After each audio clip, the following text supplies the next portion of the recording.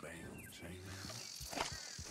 Now I am a prisoner in the Stillwater jail, I lie. You tell California miner who unto us befell. Way for which I will be sorry until my dying day.